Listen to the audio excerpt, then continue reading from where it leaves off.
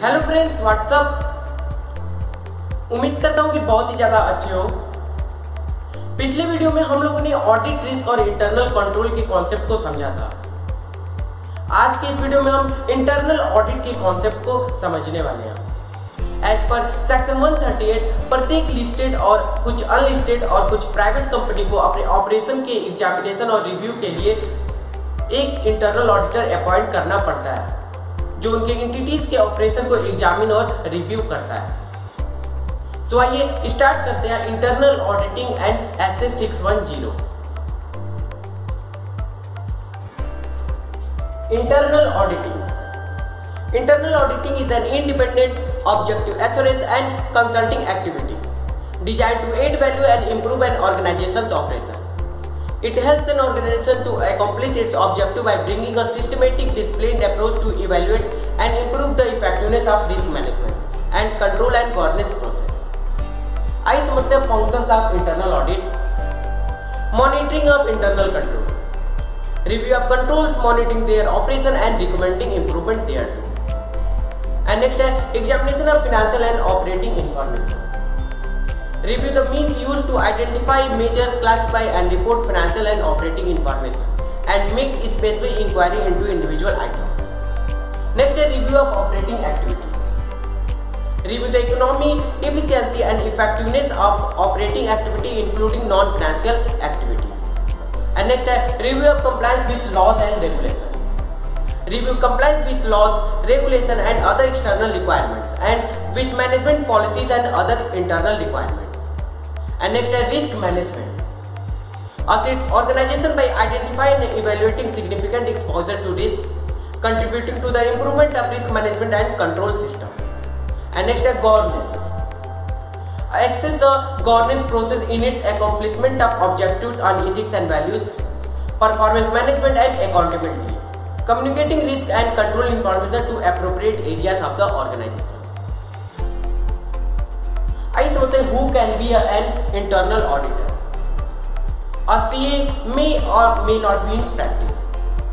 CMA and such other professionals required by board and may or may not be a, an employee. Following class of companies shall be required to appoint an internal auditor.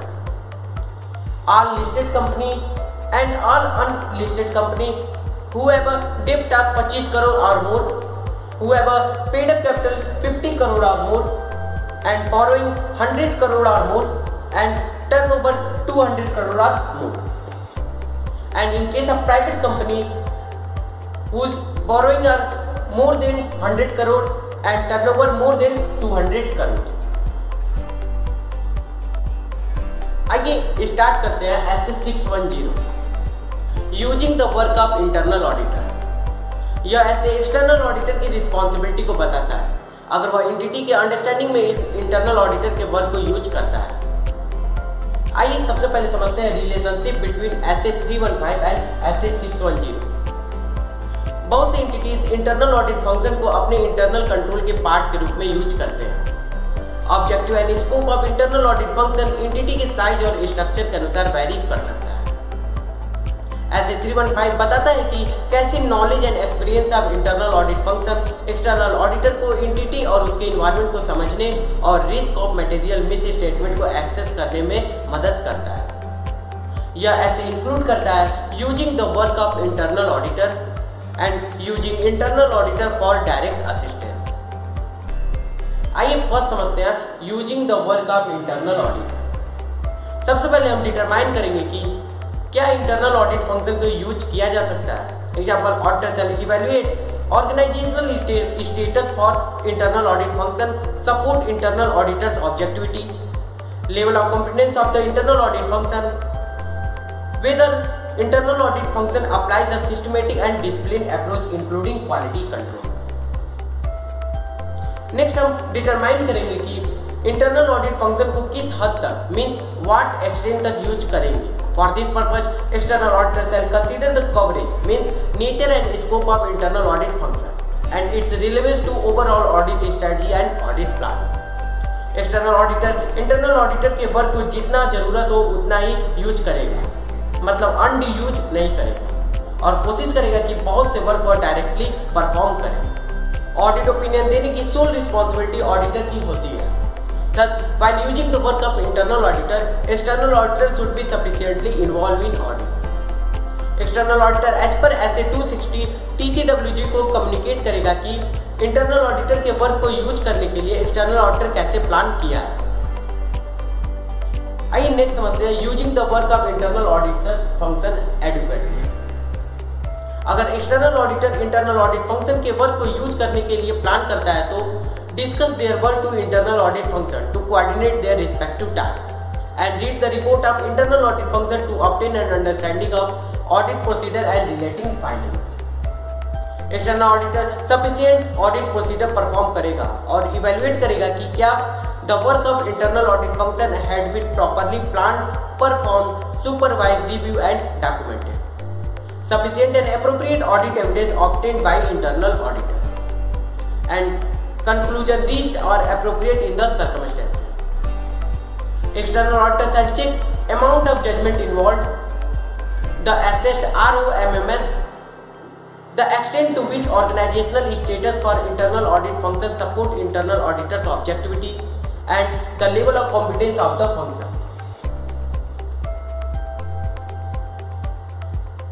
आइए इस ऐसे का next part समझते हैं using internal auditor for direct assistance क्या internal auditor को direct assistant provide करने में यूज़ किया जा सकता है direct assistance is not provided by law external auditor shall evaluate the significance of threats to objectivity and level of competence किस हद तक the work can be assigned to internal auditor External auditors shall consider amount of judgment involved in planning and performing relevant audit procedure, evaluating the audit evidence gathered, the assessed ROMMS, evaluate significant threats to objectivity and level of competence. आइए समझते हैं direction supervision and review internal auditor को direct assistance के लिए use करने से पहले external auditor written agreement obtain करेगा from an authorise representative of the entity internal auditor follow the instruction of external auditor entity will not intervene in the work of internal auditor. Internal auditor will keep maintain confidentiality for specific matters and inform the external auditor any threat to objectivity. External auditor shall direct supervise and review the work performed by internal auditors as per SA 220. External auditor be satisfied that internal auditor has obtained sufficient and appropriate audit evidence. So, यह था concept internal auditor का and S A six one zero का। आज की इस video में बस इतना ही। अगले वीडियो में मिलेंगे नए कॉन्सेप्ट के साथ। तब तक के लिए be safe and be careful good bye and thank you.